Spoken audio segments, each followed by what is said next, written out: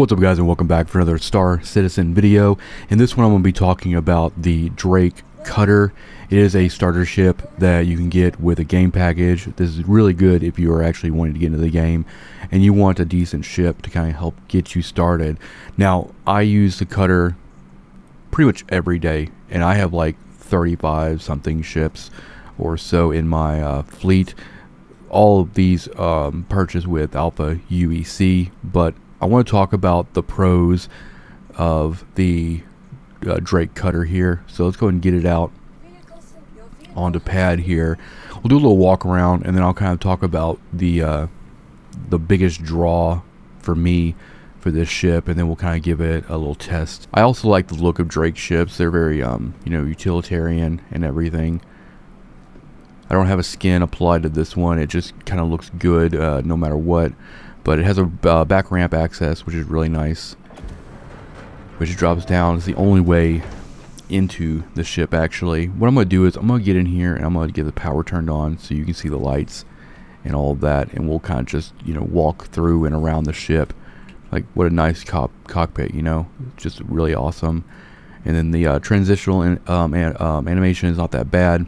Uh, I'm kind of picky when it comes to that kind of stuff. Uh, other ships like the Aurora MR have a very have very long transition animations in my opinion and what I mean by that is it's essentially how long it takes to get out of the pilot seat or into the pilot seat or something like that. As you can see, this is the only entrance and exit to the ship, but also you have a lot of space in here, so you can actually snap to grid quite a bit of cargo back here. But also, I highly recommend this ship for just doing like delivery missions when you're starting off. Probably the biggest thing that I did when I first started playing Star Citizen was delivery missions and bounties. This will handle some bounties, but it's really not its intended purpose. It's really about just uh, kind of travel, transport. You can do some light trading with this when you're just very, very getting started. I like how there's windows in the back that you can kind of see, you know, out of, which is a nice little feature. You have a uh, bed here that you can log out in. Bed logging is very important if you're out in deep space or if you need to log out um, for whatever reason. You can lay down here and then you'll get a log out uh, interaction there, which will allow you to log out. And then when you log back in, you'll be back in your ship where you uh, where you ended up.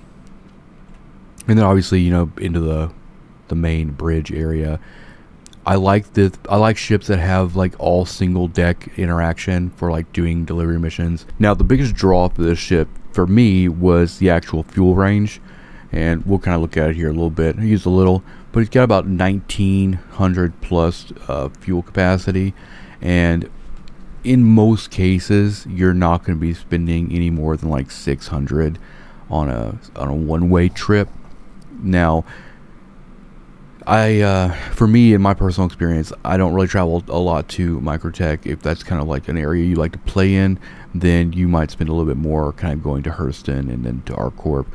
Uh, a lot of my play is kind of in this triangle here between Crusader, Hurston, and ArcCorp.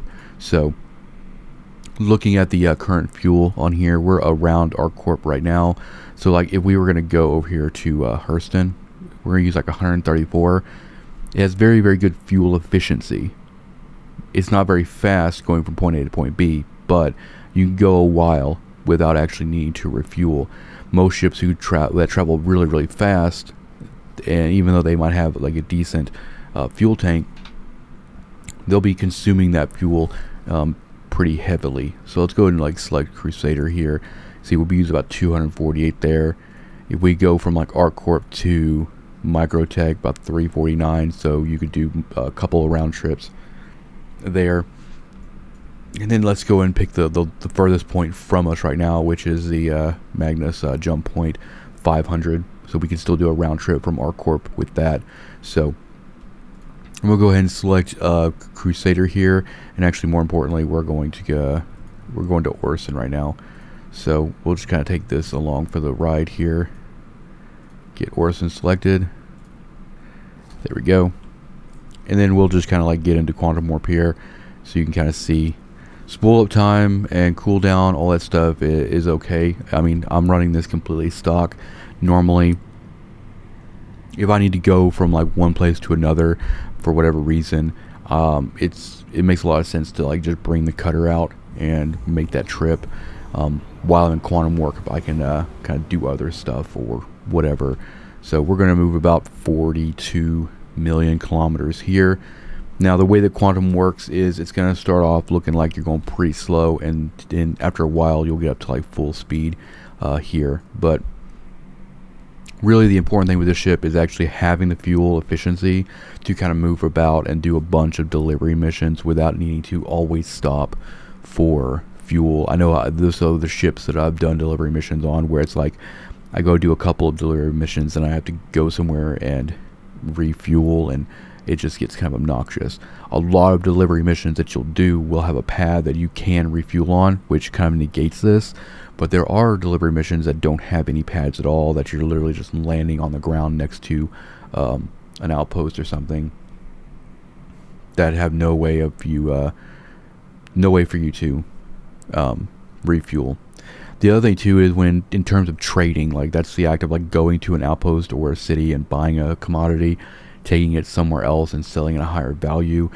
Um, fuel efficiency really, really matters there if you have a really fast ship that can get a bunch of trades done in a short amount of time, but you expend a lot of fuel that cuts into your overall profits.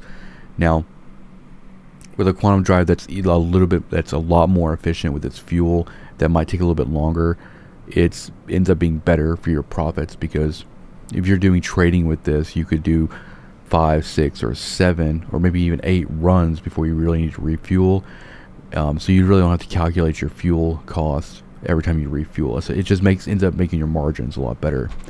I wouldn't really recommend doing a whole lot of trading with a ship like this. Trading is it requires a lot of capital, um, and as you build up capital, then you're gonna want to build up your ship size. You know, going all the way up to like even like a C2 Hercules for that.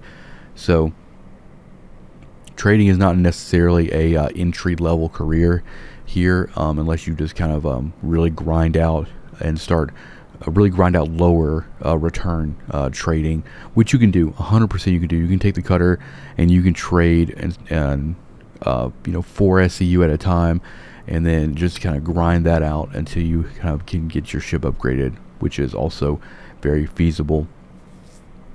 But really, if you're looking to get into Star Citizen, and you're were like me and you're looking at all the game packages and all the ships that are attached to those game packages and not really knowing what you should pick.